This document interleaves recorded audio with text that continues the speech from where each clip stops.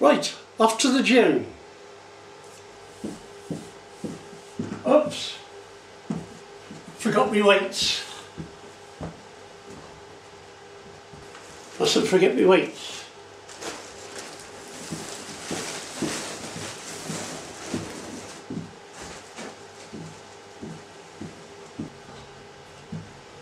I think these are called steps.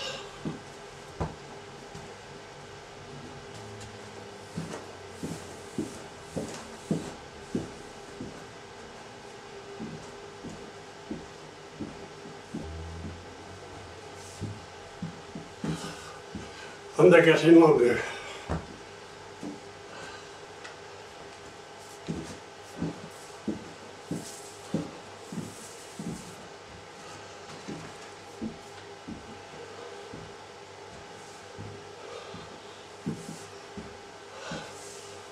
And now I add a puff.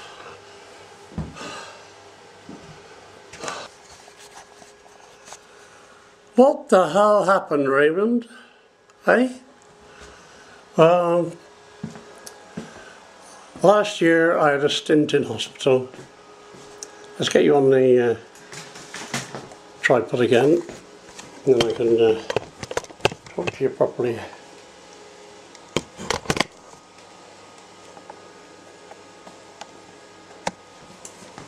Right, sit over here so you can see me. Oh. A long way down in these days. uh.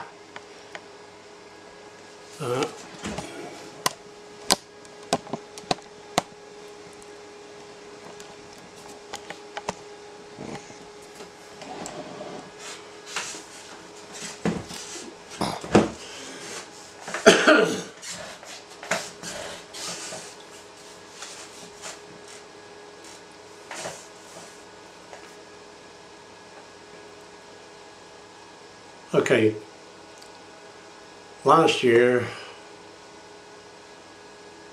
was basically a year of hell. No one else involved, it's just my health. Um, I'll jump ahead a little bit. On January 31st, I go up to Birmingham and I have a small outpatient operation where, pardon me, where they will use keyhole surgery at the base of my spine and release the sciatic nerve from the arthritic bone that going down my left leg. Because uh, I get uh, shooting pains down my leg. And I had an MRI and they discovered that uh, the arthritic bone was pressing on the um, nerve where it comes out of the spine. And uh, that's what I'm going to Birmingham for. Go backwards in time. Um, I went into uh, hospital because um, I had a fall, uh, suffering with pain with the leg. And um, I thought the nurses were feeding me liquid paracetamol. They weren't. They were feeding me morphine. And because of what I thought, every time they said you've got pain, I had pain, they gave me a, a shot in the mouth with a syringe and I didn't think anything of it. That was until the night I tripped. And that's a night I do not want to go through again. Um, cut long story short, apparently I shouted down the phone at my mate to come and get me. Um, he, bless him, and the doctor tried to get me to stay in the hospital where it would have been safer for me. But now, Bird Brainier, who was not enjoying the trip, so now I'm going home. And I went home, not a problem. And uh, I was only home for three, four days, had another fall down at my mate's. And I ended up back in hospital. But there was a load of ambulances in the queue. And when I finally got in, there wasn't any room in A&E for me. So they put me somewhere else. Now from this point on, please do not ask me any questions about where I was put. Because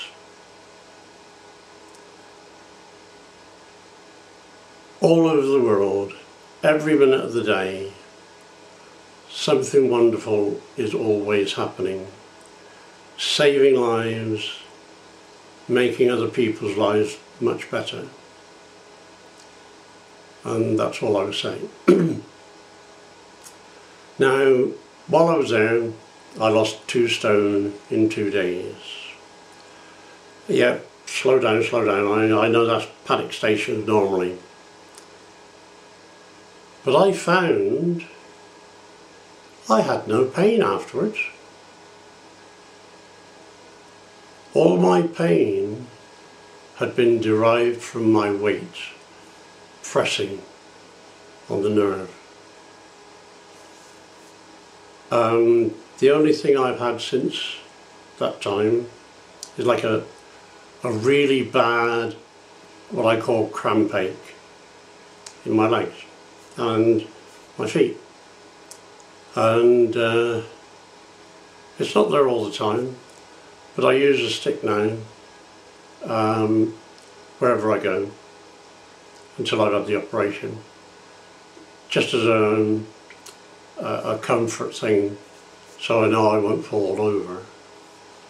Uh, because I know if I fall again and I'm picked up, I should be end ending up back in hospital no matter what I say and believe me, I do not want to go there again. Um, I came home and I was in a poor state of health, as you can imagine, losing two stone in such a short space of time. So my daughter, Sharon, she picked me up and took me over there and looked after me for, the, for a week and got me eating again because I I'd stopped eating um, and uh, after a week I felt fit as a fiddle. Still getting the, the ache, but uh, in general fit as a fiddle. Uh, I got home, weighed myself. I was my target weight, which I've been trying to get to for four or five years. 17 and a half stone. And I was over the moon. Um, I'd asked my friend Patrick in Ireland the best way to build my uh, body back up from the shock that I'd been through. Um, because he was a he's a an ex um, chef. He had to leave for uh, health reasons. Um, but he's a bloody damn good chef. And he, anyway, he gave me a list of stuff. He said the first thing you want to do is get some milk inside you. That'll help tremendously. So uh, I then started drinking milk, Blue Top, not uh, the uh, green um, milk, green top milk. And I haven't looked back because, well, also when I got home and I sorted my food out, I got hold of Sharon who uh, had contact with my grandson. And I said ask Alex if he can uh, organise um, scrap lorry to uh, come and pick up some scrap. So yeah, within hours, Alex was organising it. As soon as he knew it was for me, he was there like a rocket. And he came down with the wagon all the way from Kidderminster. and the two of them, uh, his mate and uh, Alex, came in and said, right, what do you want us to do? And I said, right, we'll start with the um, council shed. I want all of it out. And the previous day I'd gone around with red tape and a red marker marking stuff. And I said, anything that is red painted or got a marker pen, uh, pen on mark on it, I said, uh, that stays. Everything else goes. I don't care if I bought it only yesterday, it goes if it hasn't got a red mark on it. So they did that, that was the council shed down, they had a cup of coffee, said right what's next? I said the office and that's the room in the bedroom and uh, they cleared all that out for me and then I got them to clear out the uh, front room. I haven't got rid of all my bikes and uh, I still have tools but um, if I was going to use it for three months I didn't want it cluttering up so I took that out as well. And I said right now you can start in the garden. I want everything out of the garden that I don't want.